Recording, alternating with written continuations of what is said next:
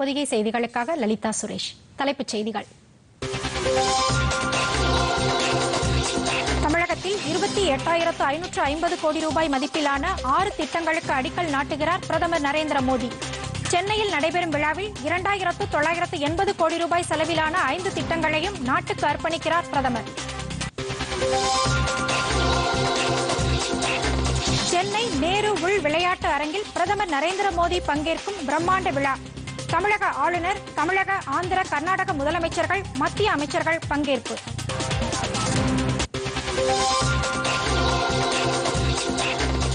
சென்னை விழாவிற்கு வரும் பிரதமர் நரேந்திர மோடிக்கு வழி நெடுகிலும் வரவேற்பு நிகழ்ச்சிகளுக்கு ஏற்பாடு. பாதுகாப்பு பணியில் இருபத்தி இரண்டாயிரம் போலீசார்.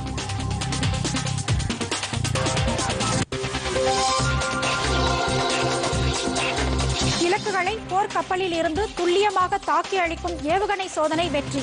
இந்திய கடற்படை அறிவிப்பு.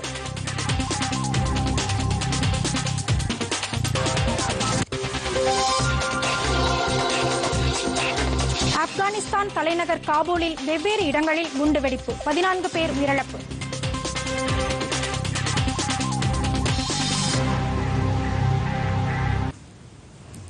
சென்னையில் பிரதமர் நரேந்திர மோடி பங்கேற்கும் பிரம்மாண்ட விழாவில் தமிழக ஆளுநர் தமிழக ஆந்திர கர்நாடக முதலமைச்சர்கள் மத்திய அமைச்சர்கள் பங்கேற்கின்றனர். தமிழகத்தின் பல்வேறு திட்டங்களுக்கு அடிக்கல் நாட்டியும் முடிவுற்ற ஐந்து பெரும் திட்டங்களை நாட்டுக்கு அர்ப்பணிக்கும் விழாவில் பிரதமர் நரேந்திர மோடி இன்று மாலை பங்கேற்கிறார். ஜவஹர்லால் நேரு உள் விளையாட்டு அரங்கில் நடைபெறும் இந்த பிரம்மாண்ட விழாவில் தமிழக ஆளுநர் தமிழக ஆந்திர கர்நாடக முதலமைச்சர்கள் மத்திய அமைச்சர்கள் பங்கேற்கின்றனர். விழாவிற்கு தமிழக ஆளுநர் ஆர் என் ரவி தமிழக முதலமைச்சர் மு க ஸ்டாலின் கர்நாடக முதலமைச்சர் பசவராஜ் பொம்மை ஆந்திர பிரதேச முதலமைச்சர் ஒய் எஸ் ஜெகன்மோகன் ரெட்டி மத்திய அமைச்சர்கள் நிதின் கட்கரி அஸ்வினி வைஷ்ணவ் ஹர்தீப் சிங் பூரி மத்திய இணையமைச்சர்கள் V K Singh L Murugan மாநில அமைச்சர் ஏவா வேலு தமிழ்நாடு சட்டப்பேரவை எதிர்க்கட்சித் தலைவர் எடப்பாடி பழனிசாமி ஆகியோர் முன்னிலை வகிக்கின்றனர். நாடாளுமன்ற மற்றும் சட்டமன்ற உறுப்பினர்கள் மற்றும் முக்கிய பிரமுகர்களும் விழாவில் பங்கேற்கின்றனர். இன்று நடைபெறும் ஹைதராபாத் மற்றும் சென்னை விழாக்கள் குறித்தும் தாம் அதில் கலந்து கொள்வது குறித்தும் பிரதமர் நரேந்திர மோடி ட்விட்டரில் செய்தி வெளியிட்டுள்ளார். பெங்களூரு சென்னை விரைவுச்சாலை திட்டம் சென்னை எழும்பூர் ராமேஸ்வரம் மதுரை காட்பாடி மற்றும் கன்னியாகுமரி ரயில்வே நிலையங்கள் மேம்பாட்டு திட்டம் உள்ளிட்டவைகளுக்கு அடிக்கல் நாட்டப்படுவது குறித்தும் எரிவாயு குழாய் திட்ட தொடக்கம் குறித்தும் பிரதமர் தமது ட்விட்டர் பதிவில் குறிப்பிட்டுள்ளார்.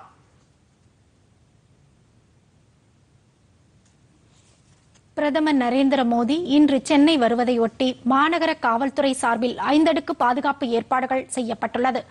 பிரதமருக்கு அளிக்கப்படும் பாதுகாப்பு ஏற்பாடுகள் குறித்து சென்னை மாநகர காவல் ஆணையர் சங்கர் ஜிவால் காவல்துறை அதிகாரிகளுக்கு ஆலோசனைகள் மற்றும் அறிவுரைகளை வழங்கினார்.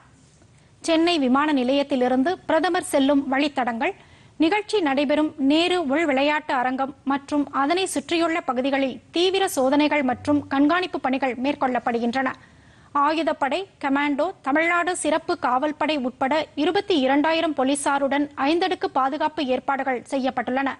சென்னையில் உள்ள முக்கிய ரயில் நிலையங்கள் பேருந்து முனையங்களிலும் காவல்துறையினர் குவிக்கப்பட்டு பலத்த பாதுகாப்பு ஏற்பாடுகள் மற்றும் கண்காணிப்பு பணிகள் மேற்கொள்ளப்பட்டுள்ளன. பிரதமர் சென்னை வருகையை ஒட்டி சென்னை பெருநகர காவல் எல்லைக்கு உட்பட்ட பகுதிகளில் ட்ரோன்கள் மற்றும் இதர ஆளில்லா வான்வெளி வாகனங்கள் பறப்பதற்கு தடை விதிக்கப்பட்டுள்ளது. பிரதமர் இன்று நிகழ்ச்சியில் பங்கேற்பதற்கு முன்பு வழிநெடுகிலும் பொதுமக்கள் மற்றும் பிஜேபி தொண்டர்கள் சார்பில் உற்சாக வரவேற்பு அளிக்கப்பட உள்ளது.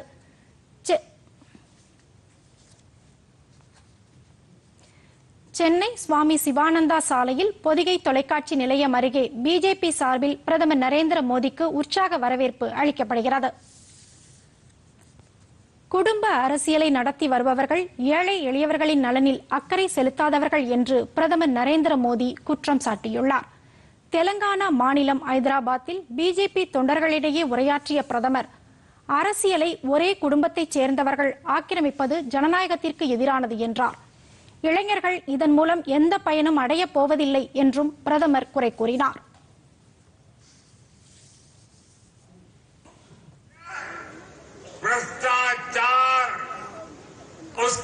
सबसे बड़ा चेहरा बन जाते हैं। तेलंगाना के लोग देख रहे हैं कि परिवारवादी पार्टियाँ किस तरह सिर्फ़ अपना विकास करती हैं। अपने परिवार के सदस्यों की तिजोरियाँ भरती हैं। इस परिवारवादी पार्टियों को गरीब के दर्द की गरीब की, तकलीफ़ की। न उनको कोई चिंता होती है, न कोई परवाह होती है। इनकी राजनीति सिर्फ़ इस बात पर केंद्रित होती है कि एक परिवार लगातार किसी भी तरह सत्ता पर कब्जा करके लूट सके तो लूटता रहे। इसके लिए ये लोग समाज को बांटने की साजिश रखते हैं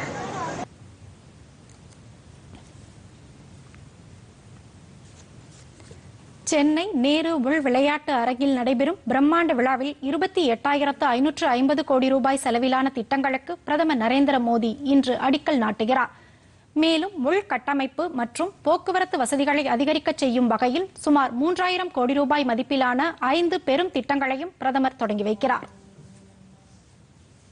பிரதமர் நரேந்திர மோடி சென்னையில் நடைபெறும் விழாவில் பல்வேறு திட்டங்களை இன்று தொடங்கி வைக்கிறார்.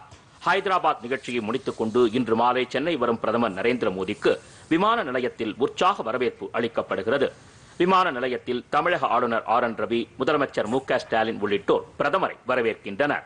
வரவேற்பு முடிந்ததும் விமான நிலையத்திலிருந்து ஹெலிகாப்டர் மூலம் ஐஎன்எஸ் அடையாறு கடற்படை தடத்திற்கு வரும் பிரதமர் நரேந்திர மோடி பின்னர் அங்கிருந்து விழா நடைபெறும் நேரு உள் விளையாட்டு அரங்கிற்கு செல்கிறார். அவர் செல்லும் பாதையில் பொதுமக்கள் மற்றும் பிஜேபி தொண்டர்கள் அளிக்கும் வரவேற்பை பிரதமர் ஏற்றுக்கொள்கிறார். பின்னர் நேரு உள் விளையாட்டரங்கில் நடைபெறும் விழாவில் பல்வேறு திட்டப்பணிகளை தொடங்கி வைக்கிறார் பிரதமர் நரேந்திர மோடி. தமிழகத்தில் உட்கட்டமைப்பு வசதிகளை மேம்படுத்துதல் போக்குவரத்து வசதியை அதிகரித்தல் உள்ளிட்ட இருபத்தி எட்டாயிரத்து ஐநூற்று ஐம்பது கோடி ரூபாய் மதிப்பிலான ஆறு திட்டங்களுக்கு அடிக்கல் நாட்டும் பிரதமர். இரண்டாயிரத்து தொள்ளாயிரத்து எண்பது கோடி ரூபாய் செலவில் ஏற்கனவே முடிவுற்ற ஐந்து பெரும் திட்டங்களையும் நாட்டுக்கு அர்ப்பணிக்கிறார். மதுரை தேனி இடையே ஐநூறு கோடி ரூபாய் செலவில் புதிதாக அமைக்கப்பட்ட எழுபத்து ஐந்து கிலோமீட்டர் அகல ரயில் பாதையை நாட்டிற்கு அர்ப்பணித்து ரயில் போக்குவரத்தை தொடங்கி வைக்கிறார். இந்த திட்டத்தின் மூலம் மதுரை தேனி பகுதியில் சுற்றுலாத்துறை வளர்ச்சியடையும். அதேபோல் தாம்பரம் செங்கல்பட்டுக்கு இடையே ஐநூற்று தொண்ணூறு கோடி ரூபாய் செலவில் அமைக்கப்பட்டுள்ள மூன்றாவது புறநகர் ரயில் பாதையையும் பிரதமர் நாட்டிற்கு அர்ப்பணிக்கிறார். இந்த ரயில் பாதை மூலம் சென்னை புறநகர் ரயில் பயணிகளுக்கு கூடுதல் ரயில் சேவை வழங்க முடியும். இதைத் தொடர்ந்து எண்ணூற்று ஐம்பது கோடி ரூபாயில் அமைக்கப்பட்டுள்ள எண்ணூர் செங்கல்பட்டு இடையிலான நூற்று பதினைந்து கிலோமீட்டர் தூர எரிவாயு குழாய் திட்டம் திருவள்ளூர் பெங்களூரு இடையே தொள்ளாயிரத்து பத்து கோடி ரூபாய் மதிப்பில் அமைக்கப்பட்டுள்ள இருநூற்று எழுபத்தோரு கிலோமீட்டர் தூர எரிவாயு இணைப்பு திட்டம் ஆகியவற்றையும் பிரதமர் நாட்டிற்கு அர்ப்பணிக்கிறார். இதன் மூலம் நுகர்வோருக்கும் தொழிற்சாலைகளுக்கும் மிக எளிய முறையில் எரிவாயு விநியோகிக்க முடியும். சென்னையில் கலங்கரை விளக்கம் பகுதியில் நூற்று பதினாறு கோடி ரூபாய் மதிப்பில் பிரதமரின் வீடு கட்டும் திட்டத்தின் கீழ் கட்டப்பட்டுள்ள ஆயிரத்து நூற்று ஐம்பத்தி இரண்டு வீடுகளையும் பிரதமர் திறந்து வைக்கிறார்.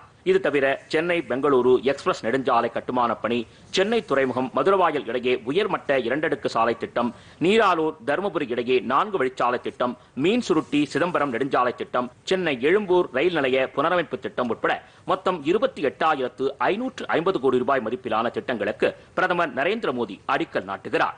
இதில் சென்னை எழும்பூர் ராமேஸ்வரம் மதுரை காட்பாடி கன்னியாகுமரி ரயில் நிலையங்கள் ஆயிரத்தி எண்ணூறு கோடி ரூபாய் மதிப்பீட்டில் புனரமைக்கும் திட்டத்திற்கும் பிரதமர் அடிக்கல் நாட்டுகிறார். சென்னையில் ஆயிரத்து நானூற்று முப்பது கோடி ரூபாய் மதிப்பிலான பல்முனை போக்குவரத்து கட்டமைப்பு பூங்காவிற்கும் இந்த விழாவில் பிரதமர் அடிக்கல் நாட்டுகிறார்.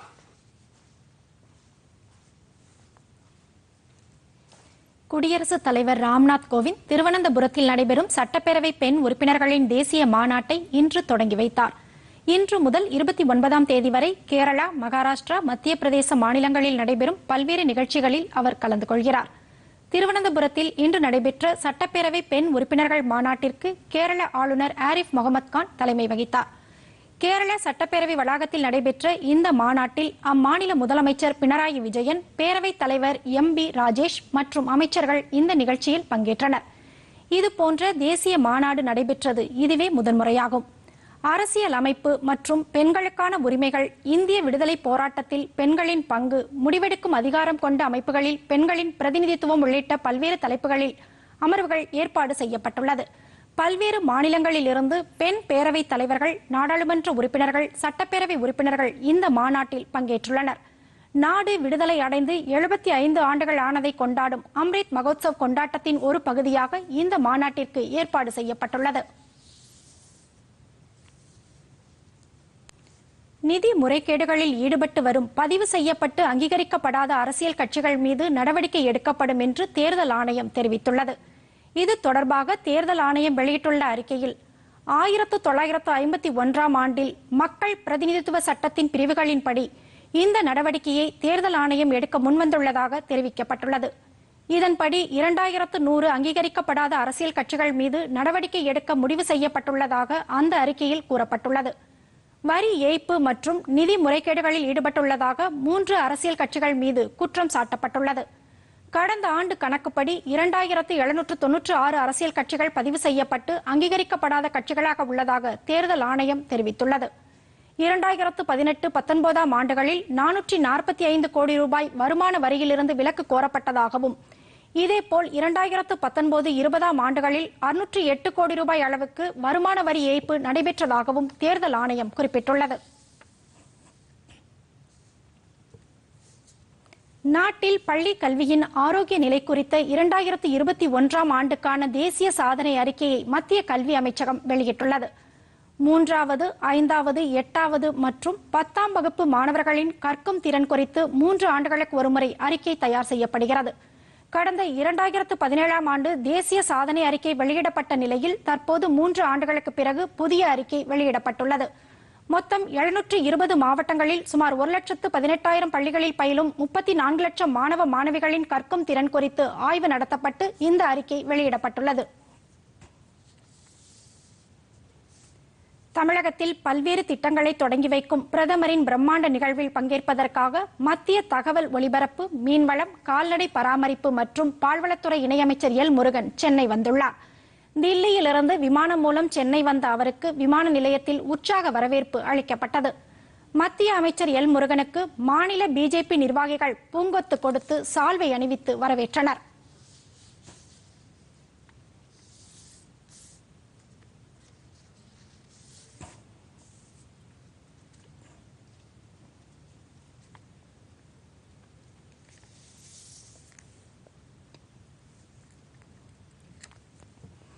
புதுதில்லியில் நடைபெறும் மிகப்பெரிய ட்ரோன் திருவிழாவை பிரதமர் நரேந்திர மோடி நாளை தொடங்கி வைக்கிறார்.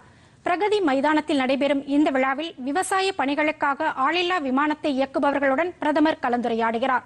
ட்ரோன் கண்காட்சியில் ஸ்டார்ட் அப் நிறுவனங்களுடன் பிரதமர் கலந்துரையாடுகிறார். இரண்டு நாட்கள் நடைபெறும் இந்த திருவிழாவில் நாடு முழுவதும் இருந்து ஆயிரத்து அறுநூறு குழுவினர் பங்கேற்கின்றனர். தொழில் நிறுவனங்கள் அரசு அதிகாரிகள் பொதுத்துறை நிறுவன பிரதிநிதிகள் தனியார் நிறுவனங்கள் உள்ளிட்டோரும் இதில் கலந்து கொள்கின்றனர். புதிதாக கண்டுபிடிக்கப்பட்ட ட்ரோன்கள் இதில் அறிமுகப்படுத்தப்படுவதுடன் ஆளில்லா விமானத்தை இயக்குபவர்களுக்கு சான்றிதழ்களும் வழங்கப்பட உள்ளது. பன்னிரண்டு ஆண்டுகளுக்கு பிறகு தேனியில் மீண்டும் ரயில் சேவை தொடங்கப்பட உள்ளது. இது குறித்து சிறப்பு செய்தி தொகுப்பை காணலாம். மத்திய அரசின் முடிவுற்ற திட்டப்பணிகளை திறந்து வைக்க தமிழகம் வரும் பாரத பிரதமர் திரு நரேந்திர மோடி மதுரை போடி அகல ரயில் பாதை திட்டத்தை துவக்கி வைத்து தேனி மாவட்ட மக்களின் நீண்ட நாள் கனவை நினைவாக்க உள்ளார். ஆங்கிலேயர் ஆட்சி காலத்தில் தேனி மாவட்டத்தில் விளையக்கூடிய விவசாய பொருட்கள் இலவம் பஞ்சு மற்றும் கேரளாவில் விளையும் ஏலக்காய் உள்ளிட்ட நறுமணப் பொருட்களை கொண்டு செல்வதற்காக போடிநாயக்கனூர் மதுரை இடையே ஆயிரத்து தொள்ளாயிரத்து இருபத்தி எட்டாம் ஆண்டு ரயில் சேவை துவக்கப்பட்டது. கடந்த இரண்டாயிரத்து பத்தாம் ஆண்டு மதுரை போடி அகல ரயில் பாதை திட்டப் பணிகளுக்காக இந்த வழித்தடத்தில் இயங்கிய ரயில் போக்குவரத்து நிறுத்தப்பட்டது. மதுரை போடிநாயக்கனூர் இடையே தொண்ணூறு புள்ளி நான்கு கிலோமீட்டர் தூரம் உள்ள மீட்டர் கேஜ் பாதையை அகல ரயில் பாதையாக மாற்றும் வகையில் மதுரை போடி அகல ரயில் பாதை திட்டம் சுமார் ஐநூறு கோடி ரூபாய் செலவில் நடைபெற்றது. இதில் மதுரையில் இருந்து தேனி வரை உள்ள எழுபத்தி ஐந்து கிலோமீட்டர் தூரத்தில் அனைத்து பணிகளும் முடிவடைந்துள்ளன. இதனையடுத்து முதல் கட்டமாக மதுரையில் இருந்து தேனி வரை வருகின்ற இருபத்தி ஏழாம் தேதி முதல் தினசரி பயணிகள் ரயில் இயக்கப்பட உள்ளது. காலை எட்டு முப்பது மணியளவில் மதுரையில் இருந்து புறப்படும் இந்த புதிய ரயில் ஒன்பது முப்பத்தி ஐந்து மணியளவில் தேனி வந்தடைகிறது. மீண்டும் மாலை ஆறு பதினைந்து மணிக்கு தேனியிலிருந்து புறப்பட்டு இரவு ஏழு முப்பத்தி ஐந்து மணியளவில் மதுரை சென்றடைகிறது. முன்பதிவு இல்லாத பயணிகள் ரயிலாக இயக்கப்படும் இந்த ரயில் வடபழஞ்சி உசிலம்பட்டி ஆண்டிப்பட்டி ஆகிய ஊர்களில் நின்று செல்லும் என்றும் தெற்கு ரயில்வே அறிவித்துள்ளது. கடந்த இரண்டாயிரத்து பத்தாம் ஆண்டு கிழக்கே சென்ற ரயில் எப்போது மேற்கே வரும் என காத்திருந்த தேனி மாவட்ட மக்கள் தெரிவிக்கும் கருத்துக்களை காணலாம். இப்போ கடந்த பன்னிரெண்டு வருஷமா பார்த்தீங்கன்னா ரயில் சேவை நிறுத்தி வைக்கப்பட்டிருந்தது. இப்போ மறுபடியும் ரயில் சேவை ஆரம்பிச்சிருக்கிறதுங்கிறது ரொம்ப சந்தோஷமான விஷயம். நாங்கள் சின்ன வயசில் பார்த்தோங்க ட்ரெயின் இருக்கிறத. இப்போ அதுக்கப்புறம் பன்னிரெண்டு வருஷம் கழிச்சு இப்போதான் மறுபடியும் இந்த சேவை துவங்குறாங்கன்றதுல ரொம்ப மகிழ்ச்சியாக இருக்குங்க. ரெண்டாயிரத்தி பதினாறில் பட்ஜெட்டில் அதிக நிதி ஒதுக்கி கிட்டத்தட்ட 450 கோடிக்கு மேலே இந்த நிதி ஒதுக்கி எங்களுக்கு தேனிக்கு தேனியில் ட்ரெயினே இல்லாத மாவட்டமா இப்ப ட்ரெயின் வரக்கூடிய மாவட்டமா மாற்றக்கூடிய மா- மா- மாற்றியிருக்காங்க. பாரத பிரதமர் நரேந்திர மோடி அவங்களுக்கு நன்றியை தெரிவிச்சுக்கிறோம். சபரிமலை ஐயப்பன் காலகட்டத்தில் அதற்கான சிறப்பு ரயிலாக ஏற்பாடு செய்து பல்வேறு மாவட்டங்களுடைய இணைப்பு பெட்டிகளை இணைப்பு செய்வதற்கும் பாரத பிரதமர் அவர்களுக்கும் இந்த கோட்டம் சம்பந்தமான ரயில்வே மேலாளர்களுக்கும் பணிகளை வேண்டி கேட்டுக்கொள்கிறேன். நன்றி தூர்தர்ஷன் பொதிகை செய்திகளுக்காக தேனியிலிருந்து ராஜ்குமார்.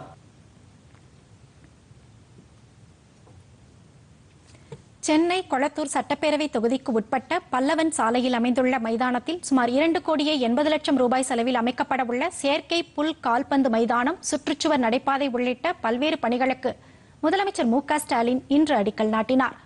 குடிநீர் வசதி கழிவறை வசதி கண்காணிப்பு கேமரா பொருத்துதல் மழைநீர் சேகரிப்பு கட்டமைப்பு வசதி ஏற்படுத்துதல் உள்ளிட்ட பணிகளுக்கும் முதலமைச்சர் அடிக்கல் நாட்டினார். இந்நிகழ்ச்சியில் மாநில அமைச்சர்கள் கே என் நேரு சேகர் பாபு உள்ளிட்ட பலரும் கலந்து கொண்டனர். போர் கப்பலில் இருந்து தாழ்வாக பறக்கும் எதிரி விமானங்களை துல்லியமாக தாக்கி அழிக்கும் ஏவுகணையை இந்திய கப்பற்படை இன்று வெற்றிகரமாக ஏவி சோதனை நடத்தியது. இது தொடர்பாக கப்பற்படை வெளியிட்டுள்ள டுவிட்டர் பதிவில் மேற்கு கடற்கரையில் உள்ள தளத்திலிருந்து இந்த ஏவுகணை சோதனை நடத்தப்பட்டுள்ளதாக தெரிவித்துள்ளது. நிர்ணயிக்கப்பட்ட வழிகாட்டிகளின்படி இந்த ஏவுகணை வீசி சோதனை நடத்தப்பட்டதாகவும் தெரிவிக்கப்பட்டுள்ளது. இந்த சோதனையில் ஈடுபட்ட குழுவினருக்கு பாராட்டுக்களை தெரிவிப்பதாகவும் அந்த டுவிட்டர் பதிவில் கூறப்பட்டுள்ளது. சிறிய இடைவேளைக்கு பிறகு செய்திகள் தொடரும்.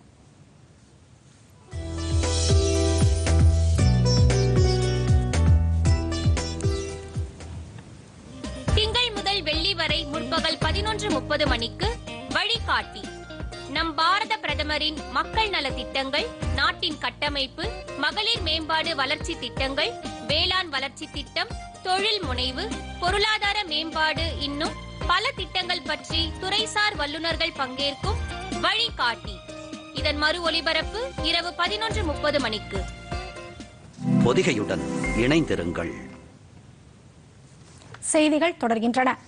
காரைக்கால் திருநள்ளாறு ஸ்ரீ தர்பாரணேஸ்வரர் ஆலயம் மிகவும் பிரசித்தி பெற்றது. இங்கு தனி சன்னதியில் அமைந்துள்ள சனீஸ்வர பகவானை வழிபட பக்தர்கள் நாட்டின் பல்வேறு பகுதிகளில் இருந்து வருகின்றனர். இந்த சனீஸ்வர பகவான் ஆலயத்தில் ஆண்டுதோறும் பிரம்மோற்சவம் நடைபெற்று வருகிறது. அதன்படி இந்த ஆண்டிற்கான பிரம்மோற்சவ விழா கொடியேற்றத்துடன் இன்று வெகு விமர்சையாக தொடங்கியது. கொடியேற்றத்தை ஒட்டி சிறப்பு வழிபாடுகள் நடைபெற்றன. தொடர்ந்து விநாயகர் சுப்பிரமணியர் உற்சவம் அடியார்கள் நால்வர் புஷ்ப பல்லக்கு ரிஷப வாகனத்தில் சுவாமி வீதி உலா ஆகிய முக்கிய நிகழ்ச்சிகள் நடைபெற உள்ளன பிரம்மோற்சவத்தின் முக்கிய நிகழ்வான திருத்தோரோட்டம் அடுத்த மாதம் ஆறாம் தேதி நடைபெறுகிறது. இதில் சுவாமி அம்பாள் வீற்றிருக்கும் இரு பெரிய தேர்கள் விநாயகர் சுப்பிரமணியர் சண்டிகேஸ்வரர் ஆகியோரின் சிறிய தேர்கள் இடம்பெறும்.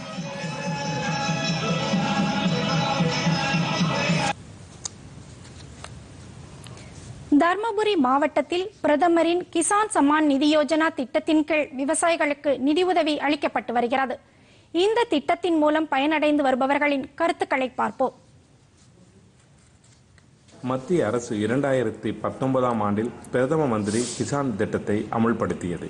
இத்திட்டத்தின் கீழ் ஏழை விவசாயிகளுக்கு ஆண்டுக்கு ரூபாய் ஆறாயிரம் நிதியுதவி வழங்கப்பட்டு வருகிறது. நான்கு மாதங்களுக்கு ஒருமுறை இரண்டாயிரம் ரூபாய் வீதம் மூன்று தவணைகளாக நிதி விடுவிக்கப்பட்டு வருகிறது. தருமபுரி மாவட்டத்தில் பிரதம மந்திரி விவசாயிகள் கௌரவ நிதி திட்டத்தின் மூலம் இதுவரையில் இரண்டு லட்சத்தி பதினேழாயிரத்தி முன்னூத்தோரு விவசாயிகள் பயன்பெற்று வருகின்றனர். என் பேர் கிருஷ்ணமூர்த்தி. நான் தருமபுரி மாவட்டம் அரூர் வட்டம் சங்கிலோடி கிராமத்தை சேர்ந்தவன். நான் வந்து பாரத பிரதமரோட கிசான் திட்டத்தில் வருடத்துக்கு ஆறாயிரம் ரூபாய் பயனடைஞ்சிட்டு வந்திருக்கிறேன். அது நாலு மாதத்துக்கு ஒரு வாட்டி சரியான தேதியில் வந்துடுது இந்த பணத்தை வச்சு நான் விவசாயத்துக்கு உழவு பண்ணுறதுக்கும் மற்ற விவசாயத்தில் ஏதாவது ஒரு இடுபொருள் வாங்குறதுக்கு இது பயனுள்ளதாக இருக்குது? வணக்கங்க. நாங்கள் வந்து பச்சனாம்பட்டியில் இருக்கோம். நாங்கள் ஒரு விவசாய தொழில் தான் பண்ணிட்டு வரோம் இது வழியாக விவசாயம் தான் பண்ணிகிட்ருக்கு இந்த மத்திய அரசு கிசான் திட்டத்தில் வந்து நாலு மாதத்துக்கு ஒரு முறை வந்து ரெண்டாயிரம் ரூபாய் கொடுக்குறாங்க. அது நேரடியாகவே எங்கள் வங்கி கணக்குக்கு வந்துடுது இதை வச்சு நாங்கள் வந்து வருஷத்துக்கு ஒரு முறை பார்த்தீங்கன்னா ஆறாயிரம் எங்களுக்கு வந்து அந்த மாதிரி பணம் கிடைக்குது. இதை வச்சு வந்து நாங்கள் வித பொருள் வாங்குறதுக்கோ இல்லை வேலை செய்கிறவங்களுக்கு கொடுக்கறதுக்கோ நிறைய எங்களுக்கு வந்து பயனுள்ளதாக இருக்குது. அதிகமாக வறட்சிக்கு இலக்காகும் தருமபுரி மாவட்டத்தில் இது போன்ற திட்டங்கள் பெரிதும் விவசாயிகளுக்கு பயனளிக்கும். தருமபுரியில் இருந்து தண்டபாணி. நாடு முழுவதும் இதுவரை செலுத்தப்பட்ட கொரோனா தடுப்பூசிகளின் எண்ணிக்கை நூற்று தொன்னூற்றி இரண்டு கோடியே எண்பத்தி இரண்டு லட்சத்தை தாண்டியுள்ளதாக மத்திய சுகாதார அமைச்சகம் தெரிவித்துள்ளது. நாடு முழுவதும் இதுவரை செலுத்தப்பட்ட கொரோனா தடுப்பூசிகளின் எண்ணிக்கை நூற்று தொன்னூற்றி இரண்டு கோடியே எண்பத்தி இரண்டு லட்சத்து மூன்றாயிரத்து ஐநூற்று ஐம்பத்தி ஐந்தாக உயர்ந்துள்ளது. கடந்த இருபத்தி நான்கு மணி நேரத்தில் பதிமூன்று லட்சத்து பதிமூன்றாயிரத்து அறுநூற்று எண்பத்தி ஏழு தடுப்பூசிகள் செலுத்தப்பட்டுள்ளன. பனிரெண்டு வயது முதல் பதினான்கு வயது வரை உள்ள சிறார்களுக்கு முதல் தவணையாக. மூன்று கோடியே முப்பத்தி மூன்று லட்சத்து இரண்டாயிரத்து அறுநூற்று ஐம்பத்தி மூன்று தடுப்பூசிகளும்.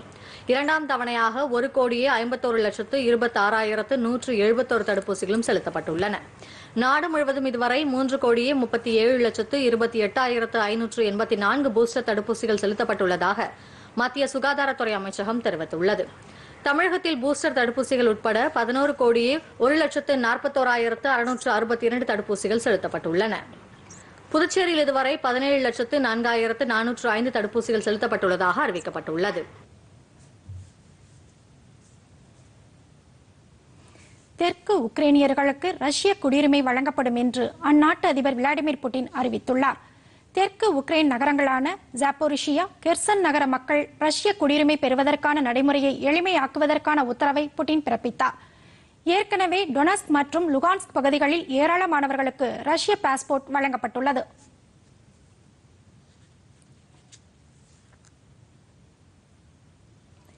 இதனிடையே தங்கள் மீதான பொருளாதார தடைகளை தளர்த்தினால் மட்டுமே உக்ரைனிலிருந்து பிற நாடுகளுக்கு உணவு தானியங்கள் அனுப்ப அனுமதிக்கப்படும் என்று ரஷ்யா மீண்டும் கூறியுள்ளது. ஆப்கானிஸ்தான் தலைநகர் காபூலில் வெவ்வேறு இடங்களில் நிகழ்ந்த குண்டுவெடிப்பு தாக்குதலில் பதினான்கு பேர் கொல்லப்பட்டனர். அங்குள்ள ஹஸ்ரத் ஜகாரியா மசூதியில் நேற்று மாலை தொழுகை நடந்து கொண்டிருந்த போது பயங்கரவாதிகள் குண்டுவீச்சு தாக்குதலில் ஈடுபட்டனர். இதேபோன்று நாட்டின் வடபகுதியில் உள்ள மசாரி ஷெரீப் என்ற நகரத்தில் மினி பேருந்து மீது குண்டுகள் வீசப்பட்டதில் ஒன்பது பேர் சம்பவ இடத்திலேயே உயிரிழந்தனர். காயமடைந்த முப்பத்தி இரண்டு பேர் பல்வேறு மருத்துவமனைகளில் அனுமதிக்கப்பட்டுள்ளனர். இந்த குண்டுவெடிப்பு சம்பவங்களுக்கு இதுவரை எந்த தீவிரவாத அமைப்பும் பொறுப்பேற்கவில்லை. பங்குச் சந்தைகள் இன்று ஏற்றத்துடன் காணப்படுகிறது. மும்பை பங்குச்சந்தை குறியீட்டின் சென்செக்ஸ் நானூற்று மூன்று புள்ளிகள் அதிகரித்து ஐம்பத்தி நான்காயிரத்து நூற்று ஐம்பத்தி மூன்று புள்ளிகளாக வர்த்தகமாகிறது.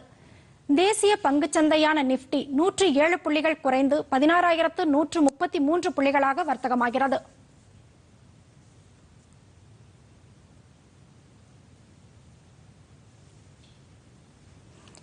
அமெரிக்க டாலருக்கு நிகரான இந்திய ரூபாயின் மதிப்பு எழுபத்தி ஏழு ரூபாய் ஐம்பத்தி ஒன்பது காசாக உள்ளது. சென்னையில் இன்று ஆபரண தங்கத்தின் விலை சவரன் ஒன்றுக்கு முப்பத்தி எட்டாயிரத்து நூற்று இருபது ரூபாயாக உள்ளது. ஒரு கிராம் தங்கத்தின் விலை நான்காயிரத்து எழுநூற்று அறுபத்தி ஐந்து ரூபாய்க்கு விற்பனையாகிறது. பார் வெள்ளியின் விலை ஒரு கிலோ அறுபத்தி ஆறாயிரம் ரூபாயாகவும் ஒரு கிராம் அறுபத்தி ஆறு ரூபாயாகவும் உள்ளது. சென்னையில் ஒரு லிட்டர் பெட்ரோல் விலை நூற்றி இரண்டு ரூபாய் அறுபத்தி மூன்று காசாகவும் டீசல் விலை தொன்னூற்று நான்கு ரூபாய் இருபத்தி நான்கு காசாகவும் உள்ளது.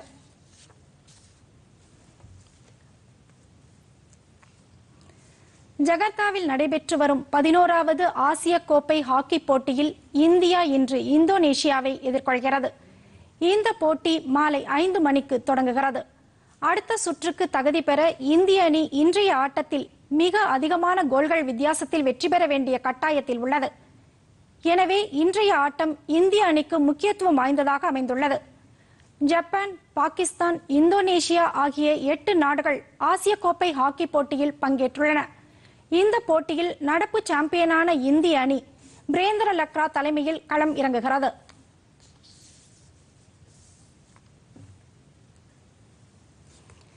ஐபிஎல் கிரிக்கெட் போட்டியில் லக்னோ அணிக்கு எதிரான வெளியேற்றுதல் சுற்று ஆட்டத்தில் பெங்களூரு அணி வெற்றி பெற்றது. கொல்கத்தா ஈடன் கார்டன் மைதானத்தில் நேற்றிரவு நடைபெற்ற ஆட்டத்தில் முதலில் களமிறங்கிய பெங்களூரு அணி நிர்ணயிக்கப்பட்ட இருபது ஓவர்களில் நான்கு விக்கெட் இழப்புக்கு இருநூற்றி ஏழு ரன்கள் எடுத்தது.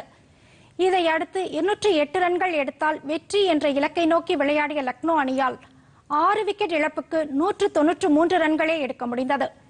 எனவே பதினான்கு ரன்கள் வித்தியாசத்தில் பெங்களூரு அணி வெற்றி பெற்றது. இந்த ஆட்டத்தில் பெங்களூரு வீரர் ரஜத் படிதார் நூற்று பன்னிரண்டு ரன்கள் குவித்தார். முன்னதாக மழை காரணமாக போட்டி தாமதமாக தொடங்கியது. தோல்வியடைந்த லக்னோ அணி போட்டியை விட்டு வெளியேறியது. நேற்றைய போட்டியில் வெற்றி பெற்ற பெங்களூரு அணி இறுதிப் போட்டிக்கான இரண்டாவது தகுதி சுற்று ஆட்டத்தில் நாளை ராஜஸ்தான் அணியை அகமதாபாத்தில் எதிர்கொள்கிறது. பிரெஞ்சு ஓபன் டென்னிஸ் போட்டியில் முன்னணி வீரர்கள் ஜோகோவிச் ரஃபேல் நடால் ஆகியோர் மூன்றாவது சுற்றுக்கு முன்னேறியுள்ளனர். பாரிஸில் நேற்று நடைபெற்ற ஆடவர் ஒற்றையர் பிரிவின் இரண்டாவது சுற்று ஆட்டத்தில் செர்பியாவின் நோவக் ஜோகோவிச் ஸ்லோவேக்கியாவின் அலெக்ஸை எதிர்கொண்டார். இந்த ஆட்டத்தில் ஜோகோவிச் ஆறு இரண்டு ஆறு மூன்று ஏழு ஆறு என்ற நேர் செட்களில் வெற்றி பெற்றார். மற்றொரு ஆட்டத்தில் ஸ்பெயினின் ரஃபேல் நடால் ஆறு மூன்று ஆறு ஒன்று ஆறு நான்கு என்ற செட் கணக்கில் பிரான்ஸ் வீரர் கொரண்டினை வீழ்த்தி மூன்றாவது சுற்றுக்கு முன்னேறினார்.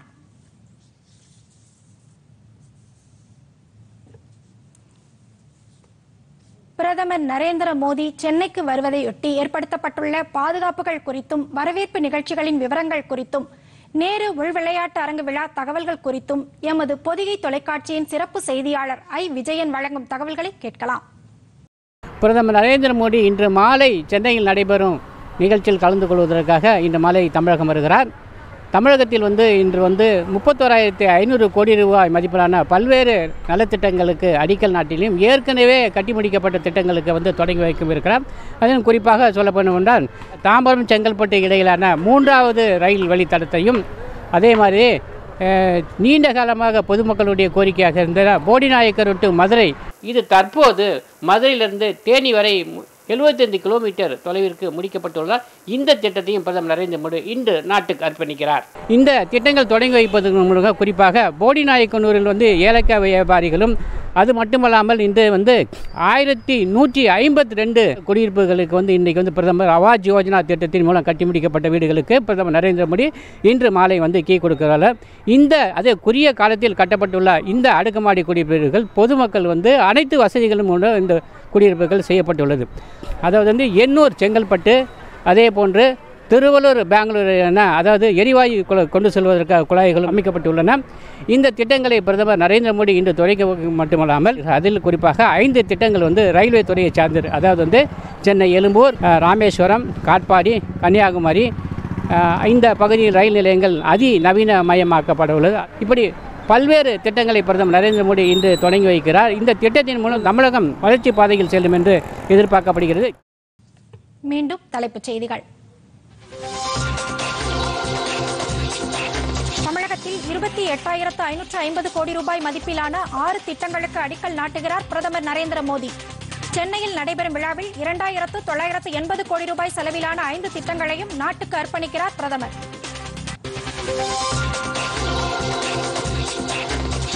நேரு உள் விளையாட்டு அரங்கில் பிரதமர் நரேந்திர மோடி பங்கேற்கும் பிரம்மாண்ட விழா. தமிழக ஆளுநர் தமிழக ஆந்திர கர்நாடக முதலமைச்சர்கள் மத்திய அமைச்சர்கள் பங்கேற்பு.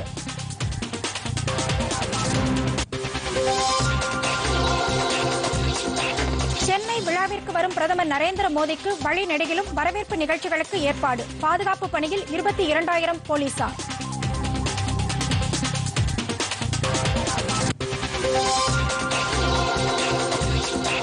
இலக்குகளை போர்க்கப்பலில் இருந்து துல்லியமாக தாக்கி அளிக்கும் ஏவுகணை சோதனை வெற்றி. இந்திய கடற்படை அறிவிப்பு.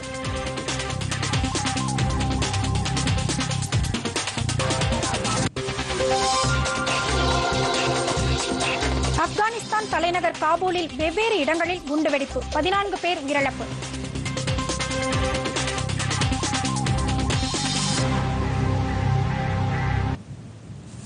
இத்துடன் இந்த செய்தியறிக்கை நிறைவடைகிறது. வணக்கம்.